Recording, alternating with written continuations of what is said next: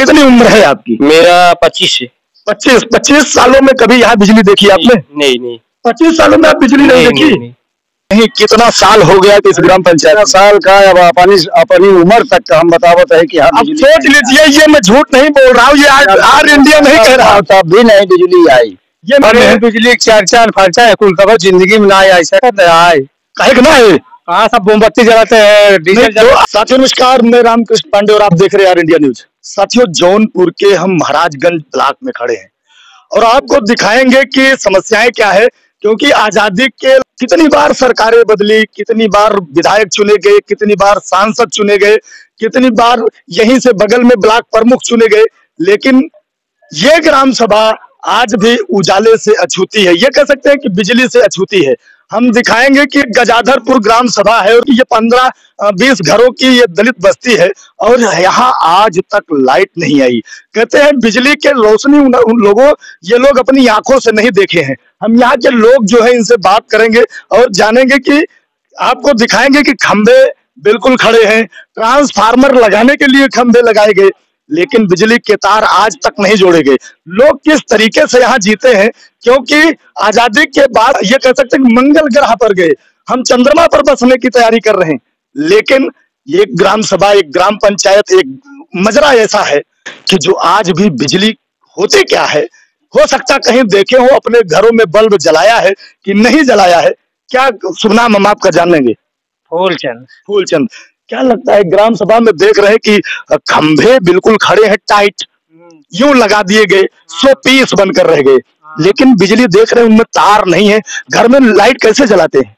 अब हाँ ऐसे मोमबत्ती होता है जला के बनवा थे ना का मोमबत्ती से काम हो रहा है। कभी सांसद कभी विधायक वगैरह जो यहाँ आते हैं उनसे कभी चर्चा किया क्योंकि आपके यही दो किलोमीटर दूर पर महाराजगंज ब्लॉक है। सांसद विधायक यहीं से मान ले हो जाए हो जाए। ओकरे बाद होबे न करे वादे पे वादा। हाँ। हम जुड़ेंगे इस परिवार से दिखाएँगे कि बिजली के कनेक्शन तो दिख रहे हैं लेकिन इसमें जला कितनी बार है ये देखेंगे। बल्ब नहीं है सारे पार्ट लगाए गए हैं ये मीटर लगा किसका घर है भैया ये? ये भाई साहब खड़े हैं। बोर्ड तो लगाया है बिजली आप बता रहे हैं नहीं जलती है। नहीं जलती। क्यों? लाइट ही नहीं है ना गाँव में। गाँव में लाइट नहीं है। लाइट नहीं है। अच्छा कितनी उम्र है आपकी? मेरा पच्चीस है। पच्चीस पच्चीस सालों में कभी यहाँ बिजली देखी आपने? नहीं नहीं। पच्चीस सालों में आप बिजली नहीं, नहीं देखी? मोबाइल कैसे चार्ज करते हैं? पड़ोसी में देते हैं, क्या गुप्ता अपना इधर शिवनगर उधर देते हैं मोबाइल चार्जिंग। कोई रिश्तेदार आ जाए और उसे मच्छर खा रहे हो तो उसके लिए पंखा कैसे चलाएँगे? क्या करेंगे? अब तकलीफ़ है ना मच्छरदानी लगाएँगे और क्या? विकल्प आपके पास बस यही है कि मच्छरदानी लगाएँगे। कह रहे थे कहीं बिल आता है। एक बार आया था एक्चुअली एक बार आया था लॉकडाउन के पहले। एक साल पहले आया था बिल आ गया? बिल आया था। बिना लाइट ब्लैक प्रमुख बोले इधर बिल मत लेना बस। मतलब ब्लॉक प्रमुख ने ये कहा कि बिल मत देना हाँ बस। लेकिन बिजली जोड़ना भी मत क्योंकि बिजली तो नहीं जुड़ी। ये कहना था कि बिजली जोड़िए भैया लोग बिल भी देंगे।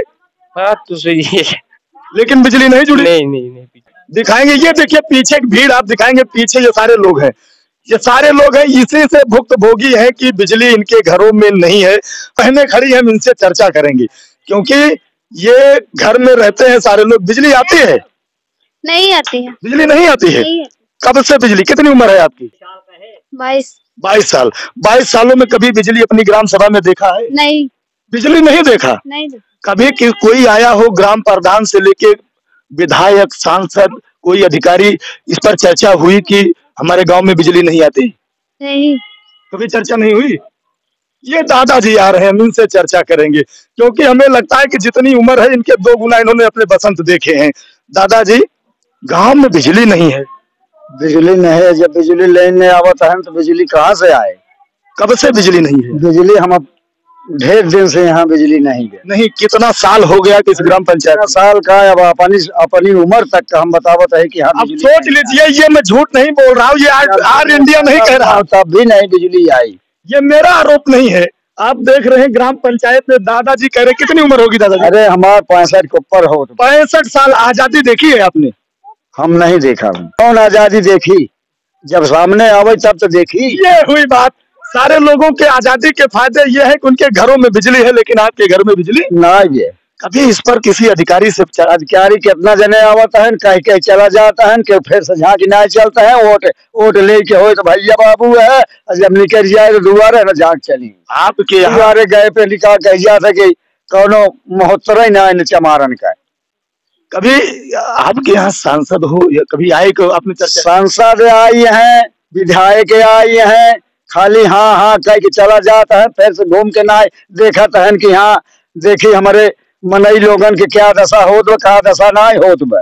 कैसे गुजरत बा कैसे ना हाथ बत्ती जलाए जलाए खाना बनत बा। कहे कहे लड़के पढ़त है ननियरिया में।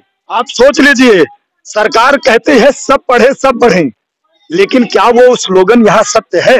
क्योंकि बिजली नहीं है तो पढ़ेंगे कैसे? ये छोटे छोटे युवा हैं स्कूल जाते होंगे।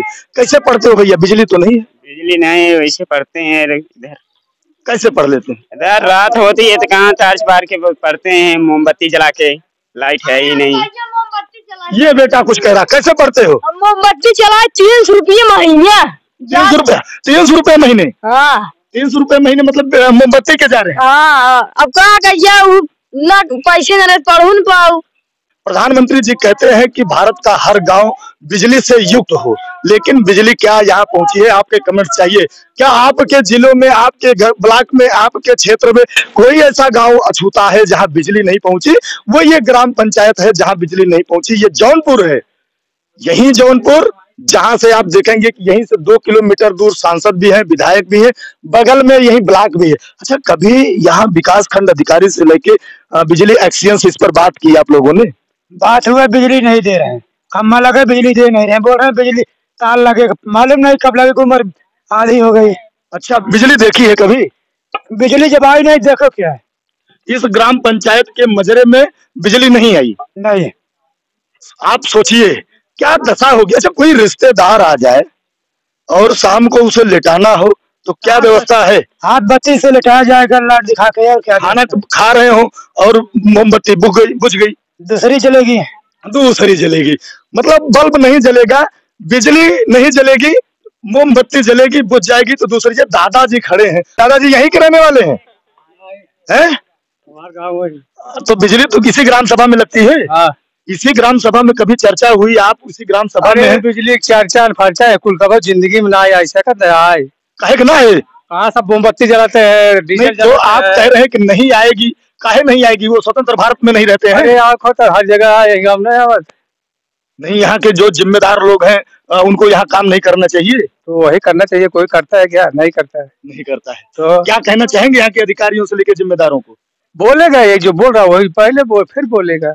ये बात है। क्या क्या क्या? महीने के तो पाँच लीटर डीजल जला जाता तीन चार बत्ती जलती है। डीजल से आप बत्ती जला रहे हैं? तो अगर केरोसिन हाँ कॉरस्पॉन्ड ना मिले। नहीं मिला। डीजल से जला रहे हैं। हाँ। क्या बात है? मतलब अगर आपको अ, अपने घर में उजाला चाहिए तो पेट्रोल से जला लीजिए डीजल से जला लीजिए सरकार के ये ये दादाजी कुछ कह रहे हैं। क्या कह रहे हैं?